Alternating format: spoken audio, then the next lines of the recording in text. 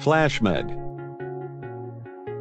Which disorder is characterized by postprandial right upper quadrant pain, bilious vomiting, anemia, steatorrhea, and pain which resolves suddenly after decompression. Afferent loop syndrome, common after Billroth 2, is characterized by these symptoms. FlashMed, video flashcards.